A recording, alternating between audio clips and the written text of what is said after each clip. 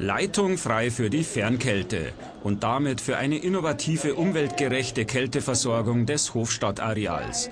Die Fernkälte der Stadtwerke München ist eine Antwort auf einen steigenden Strombedarf im Sommer.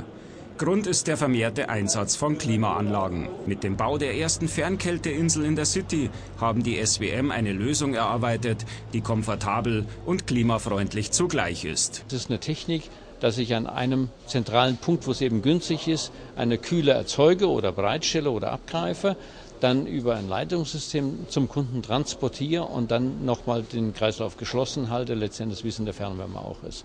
Ökologisch deswegen sehr vorbildlich, weil wir mit natürlicher Kühle arbeiten können, die ergänzt werden muss bei hohem äh, Kältebedarf auch durch Kompressionskältemaschinen, die auch ergänzt werden könnte durch Absorptionskältemaschinen. Zur Kühlung wird vorwiegend kaltes Stadtbachwasser benutzt, gespeist von der Isar. Dazu gehört zum Beispiel hier der Glockenbach. Er mündet später in den westlichen Stadtgrabenbach, der wie die meisten anderen Bäche in der Innenstadt nur im Untergrund fließt. Die zentrale Kälteerzeugungsanlage für die Innenstadt befindet sich im Stachus Untergeschoss. Dort wird die natürliche Kälte des Baches abgegriffen und die Fernkälte verteilt. Der Kreislauf funktioniert dabei im Prinzip ähnlich wie dem der Fernwärme, nur umgekehrt.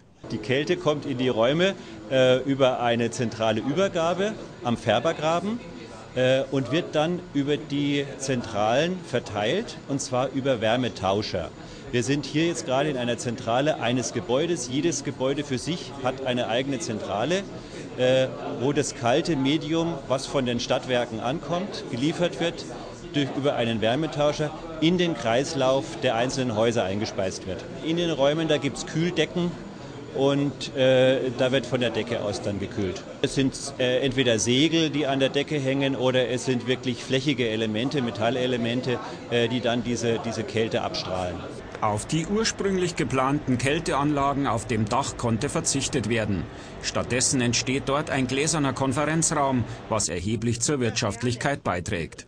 Durch die natürliche Kühlung mit Stadtbachwasser kann auch jede Menge Energie zur Kälteerzeugung eingespart werden. Derzeit hat die Isar vermutlich eine Temperatur von etwa 18 Grad oder 20 Grad, ich weiß es noch nicht genau. In diesem Fall schalten wir dann Kompressionskältemaschinen mit dazu, um einfach den Kühlbedarf äh, zur Verfügung zu stellen. Aber in den Übergangszeiten, wo die Isar eben äh, vielleicht nur eine Temperatur von 10 bis 12 Grad hat, man badet dann auch nicht mehr drin, kann ich ja mit dieser Temperatur Räume, die eine Temperatur von vielleicht 20 Grad, 25 Grad haben, kann ich die runterkühlen. Fakt ist, die Fernkälte ist nicht nur innovativ und umweltschonend, sie steigert auch den Wert einer Immobilie. Schritt für Schritt wollen die SWM nun den Ausbau in der Innenstadt vorantreiben.